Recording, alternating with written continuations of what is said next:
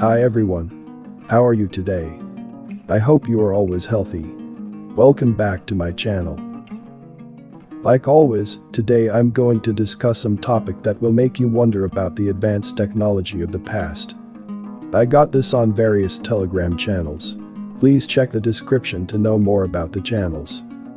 I know that my video quality is far from good, but I hope the content is understandable. Some might say that I'm being repetitive by discussing this. But that's the whole point. This is proof that a small occult elite of the history to fit their narrative. Anyway, I also have a telegram channel. There, I will share various information that I cannot share here. Don't forget to subscribe to my backup YouTube channel, the link is also in the description box below. So, without further ado, fasten your pants and let's get started.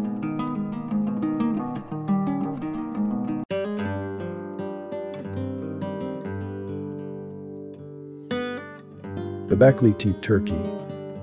Located in the southeastern Anatolia region of Turkey, the mysterious Göbekli Tepe, or Potbelly Hill, boasts of an archaeological mound that is 15 meters in height and over 300 meters in diameter.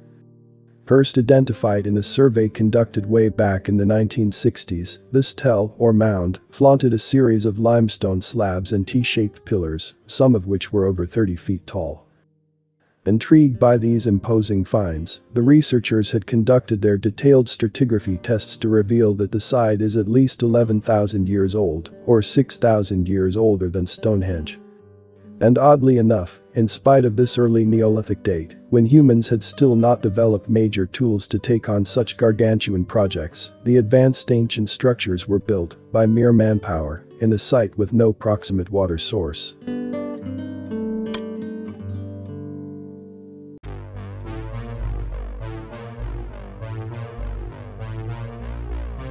Artists of the past not only offer insight to the architecture that once stood, but the builders responsible for it. Giants. The Capriccio art shows an overwhelming chaos and destruction about everywhere we look as far as 1600s to 1750s go. Our modern interpretation of these works is it was fantasy of the authors, well there's no historical evidence that Capriccio artists were making shit up. This interpretation appears to be a very convenient way to explain an inconvenient truth. There were many more of the so-called capriccio artists working within the same time frame. They observed the same objects in a very similar manner. It's so easy to dismiss the evidence by pretending that their lifework was fiction, but with a little research, it's very easy to prove their art reflected what they saw, as many of these fantasy structures still remain. The reality is, these paintings only offer a glimmering shred of insight of what once stood, even if it's only 1%, it's still significantly more than what we're being told.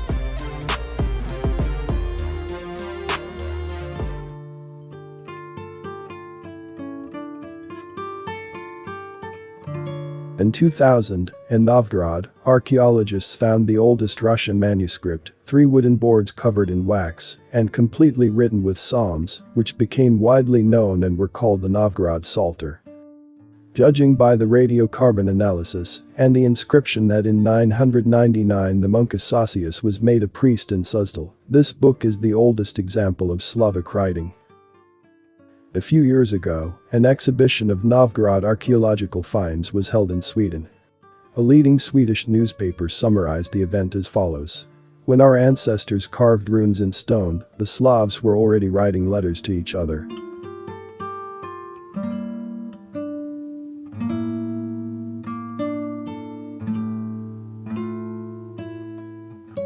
Another mystery of the Chinese Longyou caves is the lack of evidence.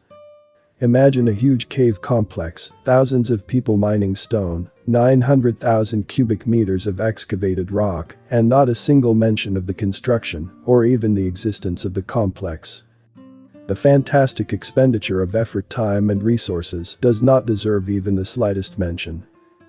I understand that officials don't like to talk about versions where phenomenal objects were built by ancient advanced civilizations, but then let them offer their version.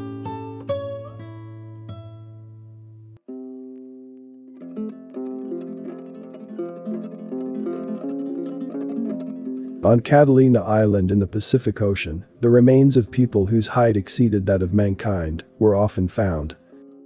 If you don't look at the abundance of photographic collages online, the main evidence remains newspapers and magazine clippings mentioning finds of extraordinary size.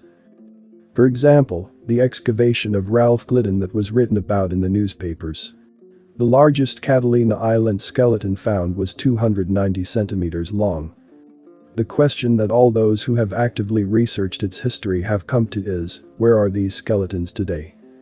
The same newspapers say that Glidden gave the skeletons to the Museum of the American Indian in New York, but they were never exhibited, remaining in the storerooms.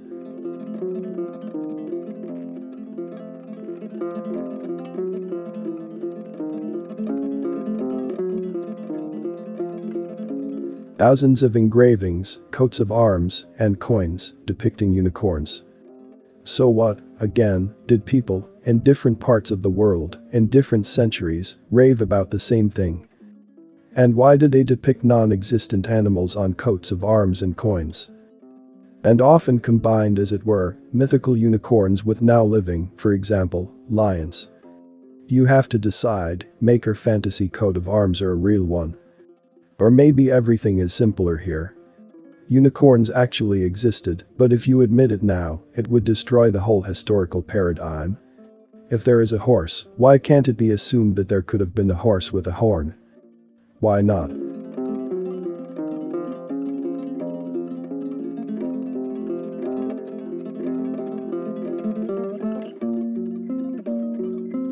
The canal in the photo was created to connect the Aegean Sea with the Adriatic According to history, it was supposedly cut by slaves on the orders of Alexander the Great. With hands and hammers. We admire the perfect smooth cut at the bottom of the canal. It looks like a single movement of the tool, and so on for 7 kilometers. On the walls, even vertical cuts. I would see historians try to replicate such a result with hand tools. What do you think about this video? Please like and share this video if you like it, so that more people are aware of what is happening in this world. Before I end this video, let's say thank you to everyone who took the time and energy to research this, they have done a lot for us all. Please subscribe to watch the next upcoming videos. Thank you for watching the video until the end, I hope this information is useful for all of us. See you in the next video.